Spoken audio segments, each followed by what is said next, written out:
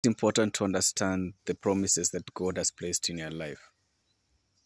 Because at the end of the day, if you're not able to stand firm and fight for what's yours and stand up for what's yours, people will take advantage of it.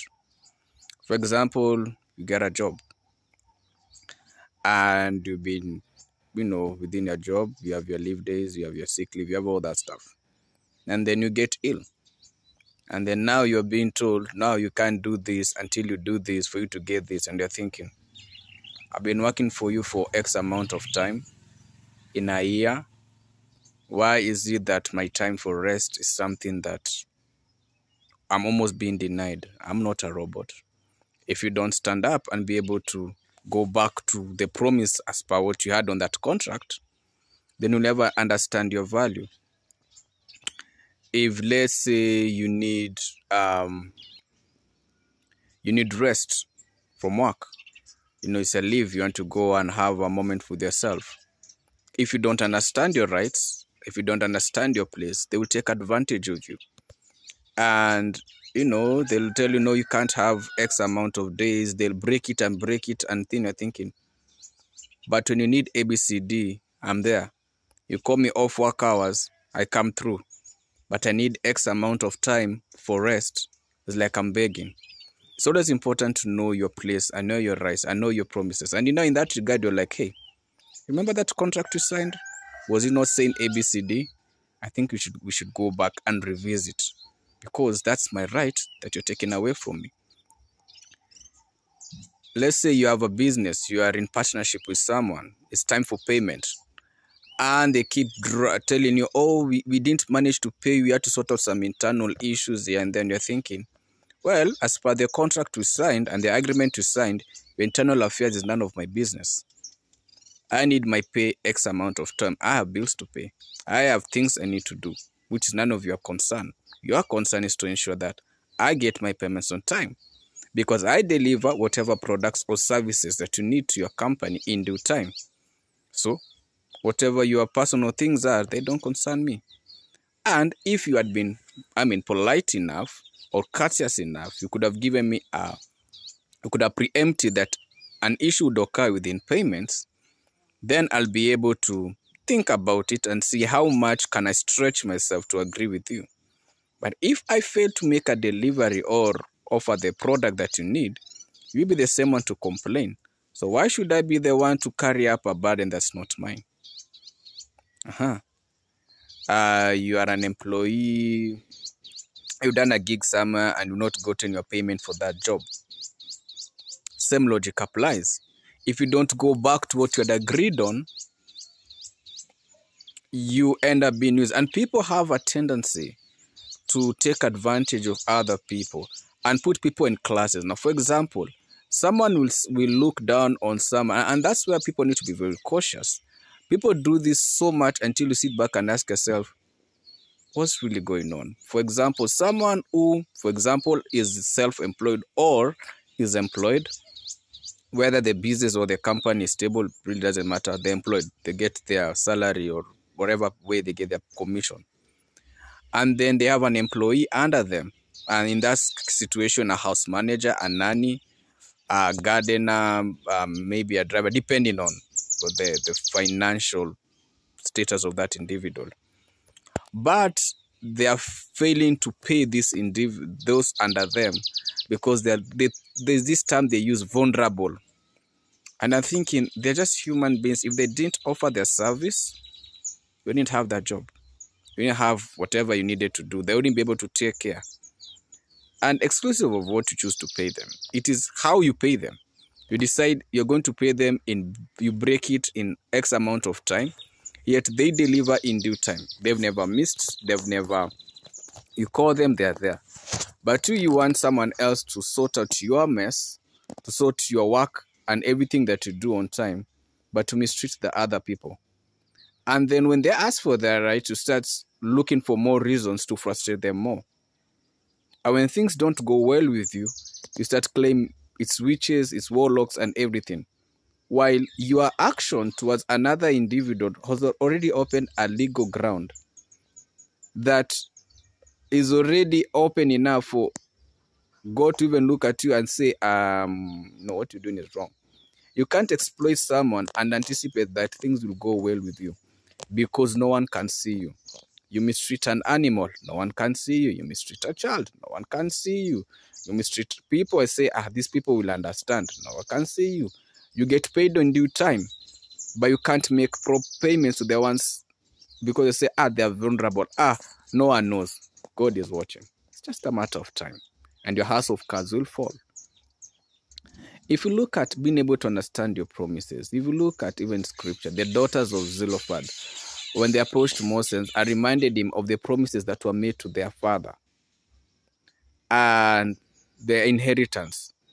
And within that time, the women weren't looked much, given much appreciation. But these seven ladies stood up and said, ah, ah. And they, when they stated, they said, the sin of our father is not our sin. He failed in his sin, but there's an inheritance. And eventually they get, they not only got what was theirs, they even got husbands in the process. I mean, from the household of Manasseh, because they're in the same tribe. If you look at Caleb's daughter after their conquering of different territories, and she remembered which area her father had uh, gotten, she went and reminded him of a promise and told him, I want between the springs and everything. The husband had won, and so she was like, um, yeah, won, good, but I need water, the water area if you never understand the promises that God has for you, if you don't go back and and remember, then it will just pass like it, ne- it never was there because you always need to go back and remember every agreement and every promise. We live in a time whereby people will take advantage of you. Uh, you are in the entertainment industry, your promoter, um, your recordings, your labels will take advantage of you. They'll tell you, oh, this event is worth X amount. But whatever they give you is peanuts. And then you get to the royalties is even worse. More more peanuts. And you're thinking, but that wasn't the agreement. And when you now go and do your own research, you realize you just got played. And it's, actually worse for most people within the entertainment industry or content creators when they sign some of these contracts. Because when you sign and they say, for example, you are called ABCD, let's say that's your biological name. And then what they choose is this company, X company or a label or whoever it is or whoever you're in contract with, they say you cannot use now your original name. So what happens is they have put you in a chain in that when they when you pull out of that contract you can't even use your own name. You have to come up with a name that's not even within the fine line of what was on that contract. Because people have a tendency to take advantage. And if you don't know your rights and step up and look for the legal ways to pursue your story dies. Because people have a tendency to take advantage. Exploitation is something that's very sad and someone will complain so much of how let's say their leader is corrupt and abcd but they themselves are triple worse. Because you see when you point a finger at someone you have one pointing right. How many pointing back? People don't think like that. You don't look at yourself being a contributor to something. If you talk about corruption you have to look at yourself. Am i a participant in corruption?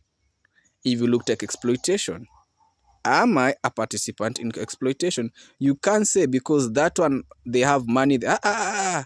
You look at it because for anything to happen, it has to compound. So, what is your role in that compounding of that issue? Because people like to exploit people and take advantage of people if they don't know their meaning and their worth. And that's why many people are taken advantage of as employees, in family members, and you're wondering what's going on. It's important to know your place, know your rights, understand the agreements and the contract to sign, understand what is for you and what if it doesn't happen, how you should be able to pursue it. Because if you don't know your rights, if you don't know the promises made, if you cannot go back and remind, you will be exploited. People will take advantage of you. People will run you over and they'll make excuses of running you over. But when you have the receipts, everyone goes silent.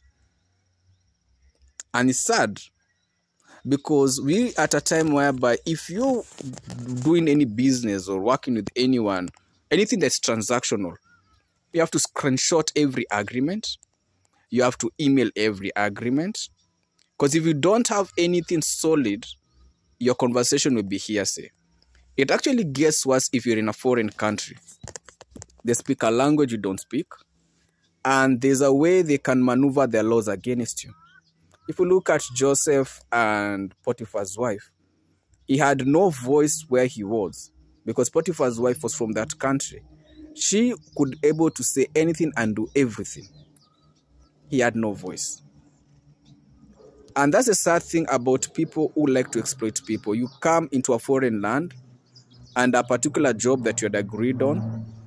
Some nations even take away, some nations even take away your passport and everything and they silence you. And they make sure they put you in a place whereby you can't be able to come out even if there's a war in that country you can't even notice.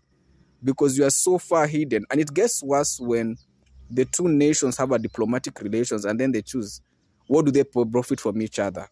You think they'll care about the citizens or who are in these foreign nations? They don't care. They'll stick to their agreements and they won't they will only show they rescued x amount of people but they're caring their concern, you never hear that. And for people who don't understand, will accuse those ones who are on the other hand and say they didn't step up enough, they're doing enough, but they keep forgetting. They're not in that person's situation, in that country, in that nation, to look from the lens of that person and to be able to see truly this person have been confined. How many people are being S trafficked and H trafficked all over the world, and the people who traffic them is their own relatives? How? a relative calls you from a foreign land and they say, Ah, I've seen your son. Oh, I've seen your daughter. They have great potential. Here, jobs are A, B, C, D, E, F, G, H. You know what? I'm going to pay for their ticket documents. And here, from from your local nation, you're thinking, ah, finally a door has been opened. And so you are happy, you're exhausted, you are excited and everything. And so you land into this country. And when you land into this country, uh, the person doesn't show you immediately. They just put you in a place and then you realize you actually can't leave. Now, they are the ones who are calling your family and telling them you're good and good. And then the moment you escape from their chains, they start maligning your name back at home and say, this person doesn't work enough. This person is lazy. This person, you know, that money I asked you, Mind you, as in, this country, you have been S trafficked or H trafficked. You've lost a lot of yourself, or you are being you are a slave. You're overworking in a place, and then on the outside, people say, "Oh, these people are normally together. They are fine," but nobody knows the cries and the tears you cry. And that's very important that we should be very cautious with judging people. And someone will say, This person left the country and they're not able even support their family. Who told you they're okay in that country? What guarantee do you have that they're okay in that country? Because many of them, when they left their country, the promises that they were given in their local country, when they landed in the foreign country, they realized things were not the same. And now they are chained. They're chained in two ways. They're chained from the context of now they can't come to their country because either this individual has a legal document that is there, like a passport. Two, they are chained with language barriers. They don't even understand how to be able to express. Three, they're chained with the laws of that country. And if that person understands, whoever has is the host, if they understand the language of that country, the laws of that country, they can easily take advantage of this person from this other country. And someone's life is gone like that. And many years later, people come to learn but by the time you're learning, the damage that this person has endured is beyond what you could fathom. But who are the main culprits of S on H trafficking? Are they not relatives? Are they not family members? Are they not neighbors? Are they not friends who are able to notice a potential in someone and take them? Exploitation is such a painful thing And when people know that you don't know your right, that you don't understand your legal place, people will rip you off. People will rip you off good. If you don't have information and do your proper due diligence, you're in big, big trouble. And that's why it's easy for people to manipulate. And then what they'll do is they'll always have someone to create a propaganda and be able to malign your name. And so eventually no one ever gets to hear your side of the story. Because you've been suppressed, you've been crushed, and then an assumption has been thrown. Now, it's like saying this. If a country, let's say a particular uh, particular people in a country are known for something, does it mean that everyone in that country is in agreement to that action? No. But nobody sees that. For example, when a diplomat of a country goes into another country and does things that are wrong, we carry the whole country, right? Because they are the representative. But does it mean that the whole country is in agreement? If a country goes all out to another country, does it mean that the citizens of that country are in agreement? No. It's a, a, a small percentage of people with power and means were able to sway everything to their advantage and then the, everyone else then carries. If a particular community is known for something that's wrong, does it mean everyone in that community is the same? No. If someone says a particular generation, whether it's X, whether it's millennial, whether it's uh, uh, Z, or whether it's Alpha, does it mean that everyone tied in that generation is the same? If now they even put it to demographics, does it mean that everyone in that demographics is the same? No. There could be a higher number, a higher statistical number that is proved, but it does not mean that everyone else falls under the same. Just because you have a sample size doesn't mean you have the culmination of everyone. And that becomes the saddest thing about exploitation is that people are able to take advantage and do and use anyone and everyone as they deem please, as long as one, they have the law or found ways of maneuvering the law. Two, they have understanding of the language of the land. That's why most politicians have a legal background, either they are lawyers, something legal related. Because when they get into power, they will know which bill, which law they'll be able to pass and because they understand lobbying, because let's say you are going against a multinational company, what do multinationals always do? They lobby, and they will always get content creators, influencers, celebrities, and politicians, pay them X amount of money, and now to, to, to be the one it. And now for the political side, the parliamentary side, they'll have the whoever is the political person and the others, the entertainers, those are the backups, those are the voices out there through their platforms. But the politician is singing the tune of the lobbyist.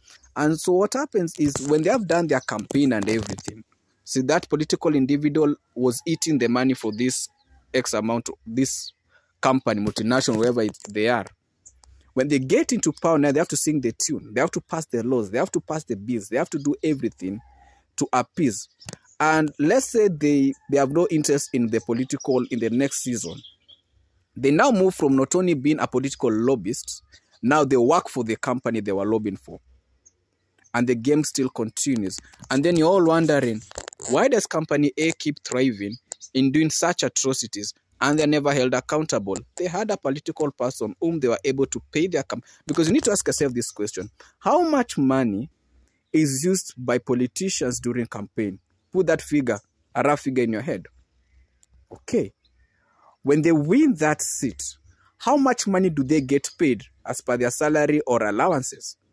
You will always notice that the figure they used in campaigns versus the figure they are getting paid, let's say it's a salary and allowance, is such a very big figure. They are not the, the inequality is quite high. So how do they make that extra as they are pushing, apart from now their theft and their corruption and their greed, they lobby. And as they lobby, they're able to get kickbacks because now they can't pay up because you never know what kind of deals they make when they're getting this campaign money. And then as a citizen, you end up paying the price. Because now you're not only being exploited from the multinational, you are being exploited by your politician, who's now found a loophole through the judiciary and the legislature and even the executive. And as a citizen, you're now chained again. Exploitation is such a menace when you get to understand how deep the rabbit hole goes, even within the religious or faith institutions. If a politician wants to still sit in power and they know there are leaders who are true who can be a threat, they won't go to them. They'll go the ones with the bigger following. Either either compromises the other one, either the faith leader or religious leader is compromised, they compromise, or the other way. One holds one holds the other one in, in a chain. And so the religious or faith leader says, Fine, I'll play your part. I will tell my people this is this, I will sing this tune. You owe me kickbacks.